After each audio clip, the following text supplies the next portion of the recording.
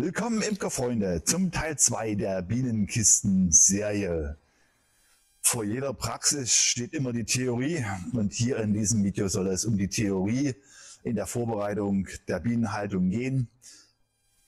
Bienenrecht etwas, Verein, Kurs, so die Fragen, die sich dem Jungimker alles stellen. Um, um dieses trockene Thema etwas aufzulockern, haben wir uns hier an eine andere Location gewagt.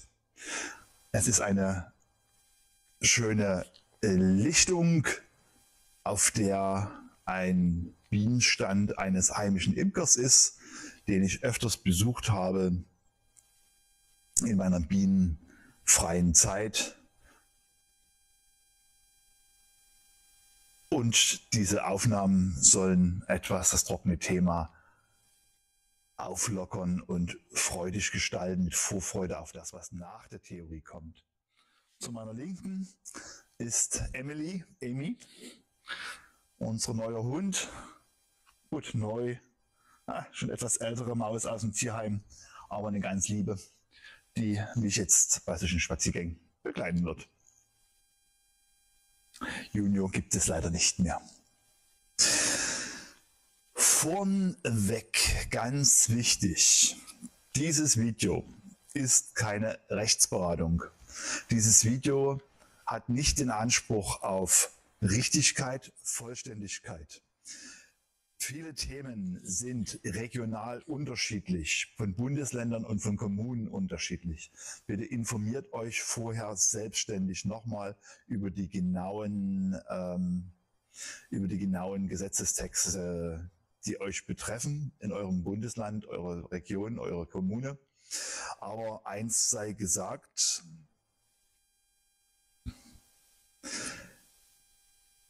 Nummer eins, die Bienenhaltung ist keine Privatsache. Die Bienenhaltung ist keine Privatsache in dem Sinne, weil die Bienen nicht eingefärscht werden können oder auf einer Koppel gehalten werden können, sondern sie fliegen frei herum. Das bedeutet, mit der Bienenhaltung betrifft oder mit der Bienenhaltung, die ich halte und wie ich mit meinen Bienen umgehe, erreiche ich auch andere Bienenvölker, andere Imker. Und somit ist die Bienenhaltung keine Privatsache. Die Bienenhaltung hat aber einen hohen Stellenwert und ist als einzigste Bienenrasse, wie mir bekannt ist, im BGB, also im bürgerlichen Gesetzbuch, äh, rechtlich erwähnt, was den Stellenwert der Honigbiene also herausstellt als Nutztier. Deswegen gehen wir auch hier ein bisschen so auf die rechtlichen Sachen auch mit ein und auf eure Rechte dadurch, dass die Bienenhaltung keine Privatsache ist und wie ich schon sagte, eingangs erwähnt, dass die Bienen auch einen relativ großen Flugradius haben, ist der Umgang mit diesem Lebewesen natürlich oberste Priorität.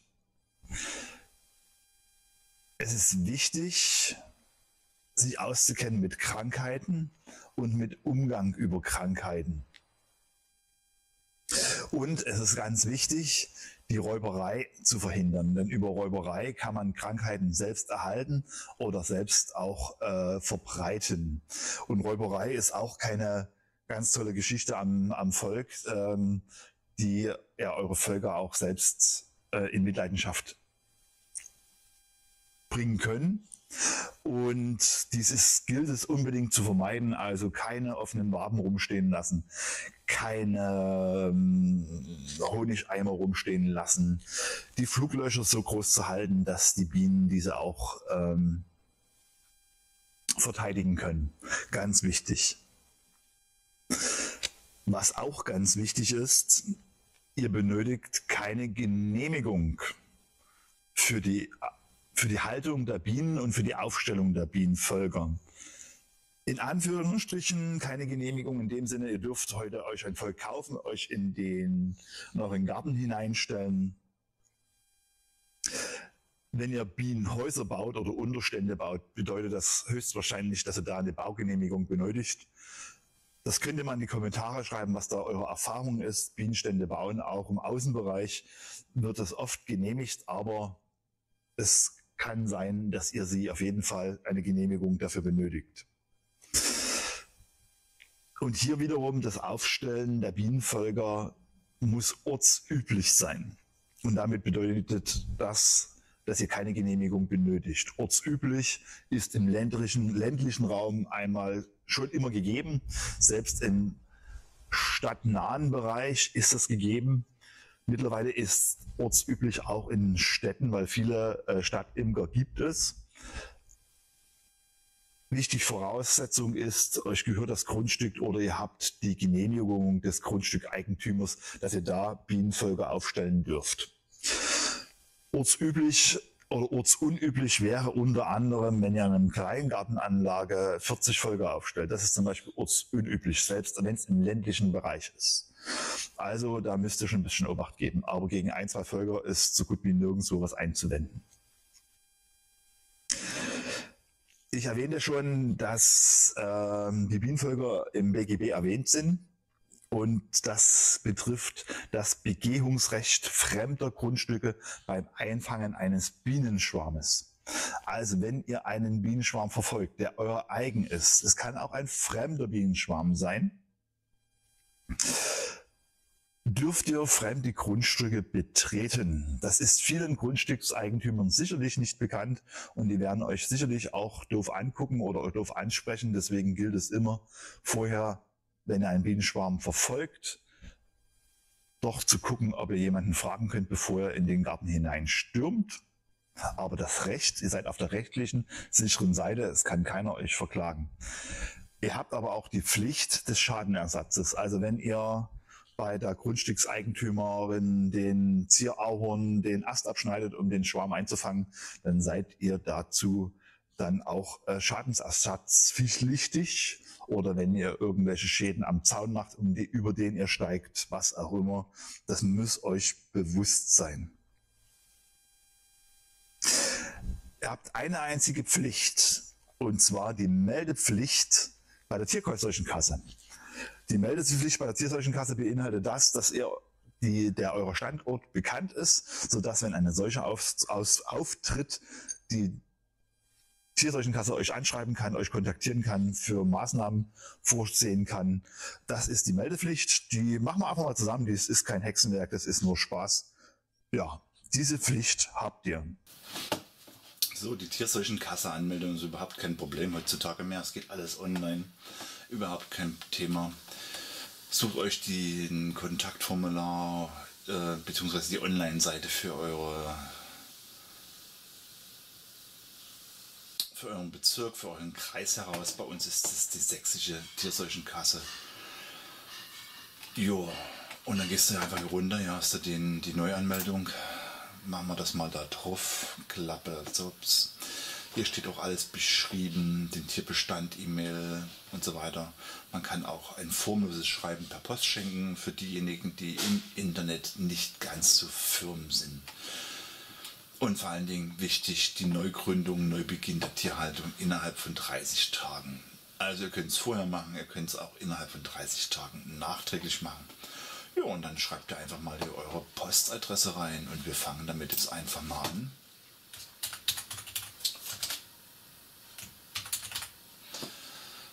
Firma habe ich nicht. So, den Rest mache ich mal alleine. Jetzt geht's weiter. Hier sollte dann noch eine Registriernummer rein. Äh, mir erstmal egal. Habe ich wahrscheinlich. Stand oder Tierhaltung ist die gleiche wie. Ja. So, dann entspricht der Standort entspricht derselben wie der Postadresse und dann geht es dann einfach weiter mit der Tierbestand. Und dann haben wir hier verschiedenste Sachen drin. Und wir machen einfach mal Anzahl der Bienenvölker. Wir melden ein Bienenvolk. Na, hier eins.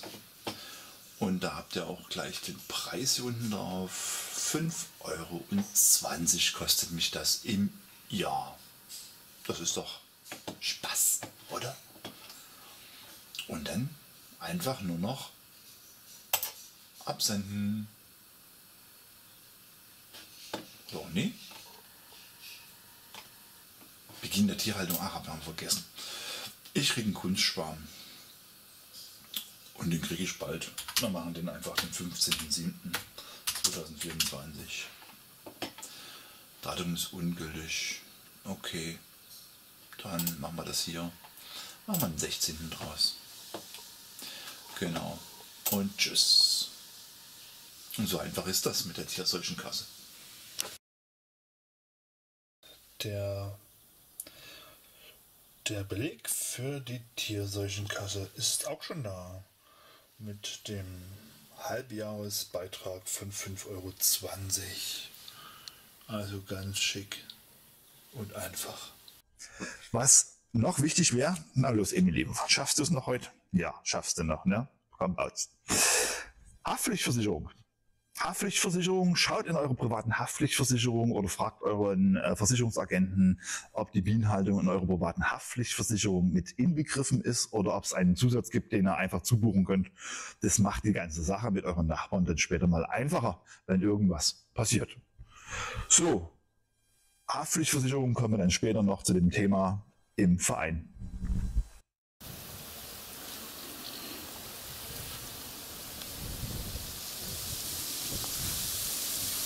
Sieht man mal den Stand in seiner Fülle, welche auf einer Zage, zwei Zagen, da ist ein Ablegerkasten.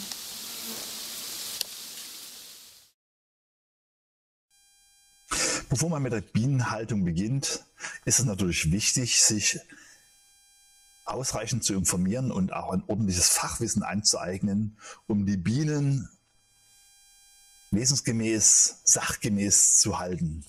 Und da gibt es natürlich jetzt unsägliche Möglichkeiten. YouTube, Bienenbücher, Zeitschriften und natürlich auch Kurse. Wie stehe ich zu Imkerkursen? Was denke ich über Imkerkurse? Und hier muss ich sagen, zu meiner Zeit gab es diesen Firlefanz überhaupt nicht. Wir sind in die Bibliothek, haben uns richtige Bücher mit Zeilen aus, mit Zeilen und Papier ausgeliehen, haben uns Bücher gekauft, haben uns reingekniet, haben gelesen, ordentlich gelesen und ausprobiert und haben unseren eigenen Weg gestaltet. Diesen Firlefanz gab es damals nicht.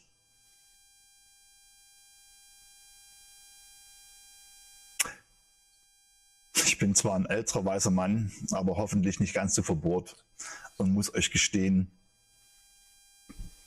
ich habe auch schon einen Bienenkurs, einen Imkerkurs in meiner frühen Jugend gehabt. Und dieser Imkerkurs war mein Großvater.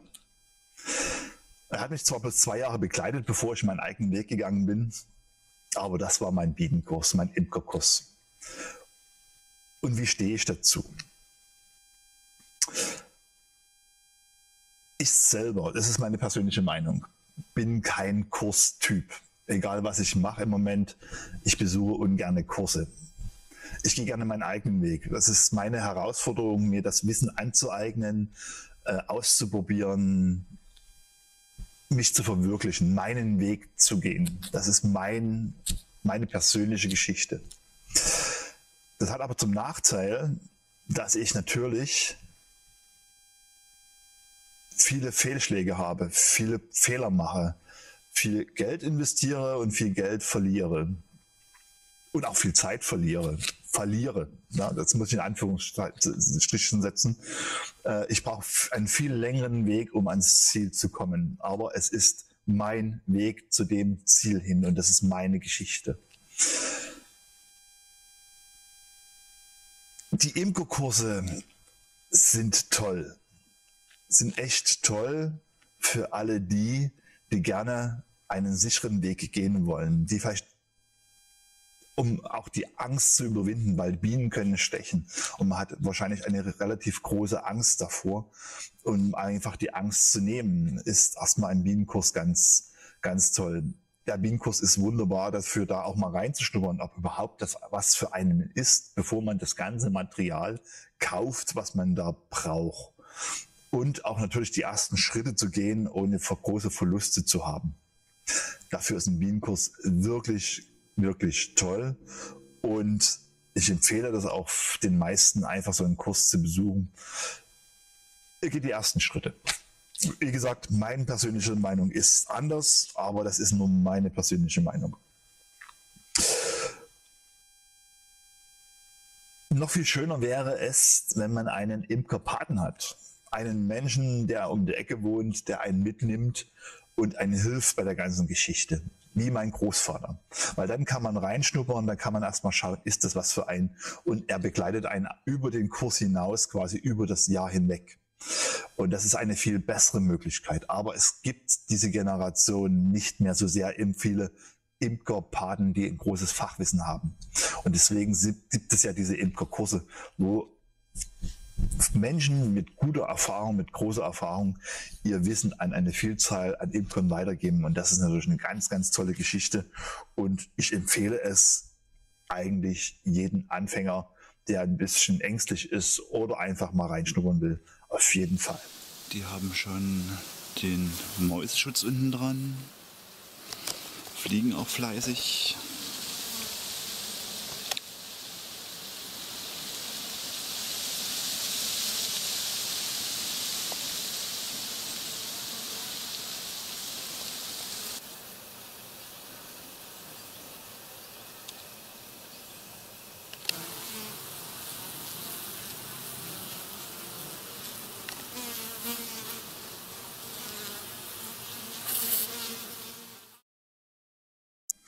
Kommen wir zum Thema Verein.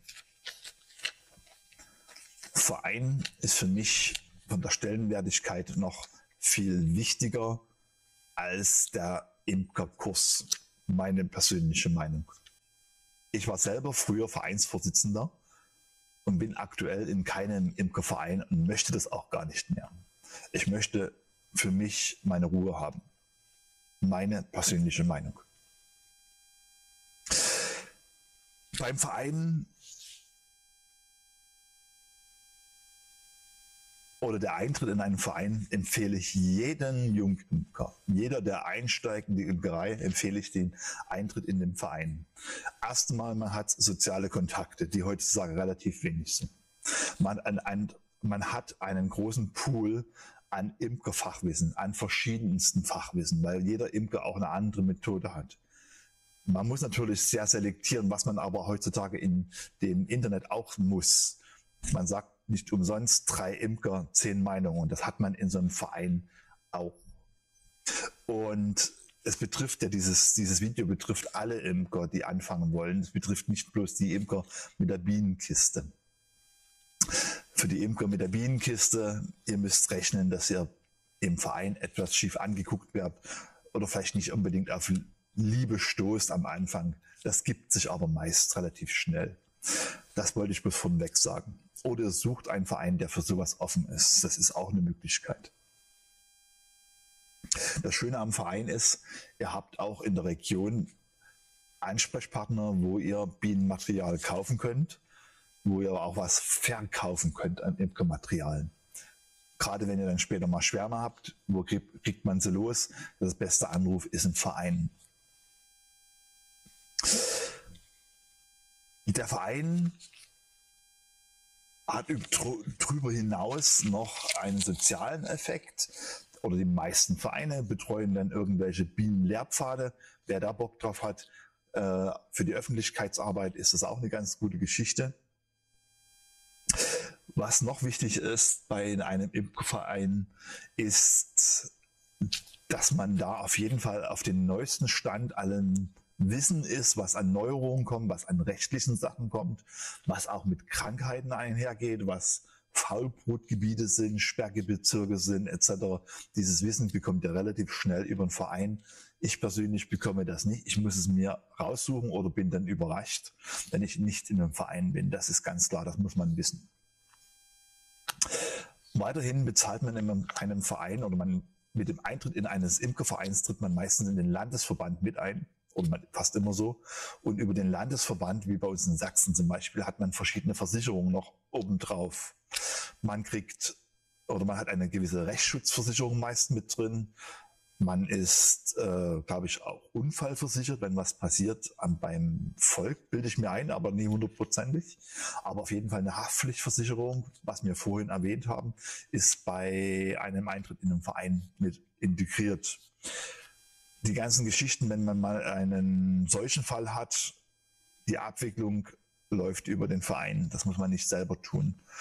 Und bei uns in Sachsen bekommt man, bei, wenn man in einer Tierseuchenkasse sich meldet, melden muss, bekommt man für seinen Obolus, für seinen Beitrag auch einen gewissen Anteil an Arzneimittel für die Varroa-Bekämpfung. Ich selber muss mich selber melden und muss das selber abholen. Beim Verein wird das meistens zentral gemacht. Es wird zentral eine Meldung abgegeben und die Abholung der Arzneimittel wird über den Verein meistens gehandhabt und dann ausgegeben. So kenne ich das. Also ist da auch wieder ein Weg gespart. Ja, und natürlich eine ganz schöne Sache immer, die geselligen Abende zusammen beim Bierchen oder was auch immer, bei einer Limo, äh, dann mit Imkern zu schwatzen und alte Geschichten zu hören, sind natürlich auch eine ganz schöne Geschichte bei einem Verein.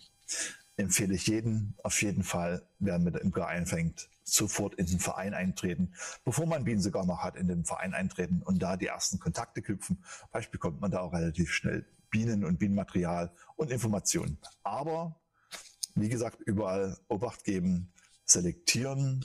Nicht jede Meinung trifft auf einen zu. Und jede Betriebsweise trifft auf einen zu. So, im groben Ganzen habe ich jetzt alles abgehakt, was an Theorie ist. Und hoffe, es hat euch etwas weitergebracht. Wir zwei machen jetzt los, wa? Machen wir los? Ja, es geht zum Armbrot. Wir machen los. Bis zum nächsten Video. Macht's gut. Ciao, ciao.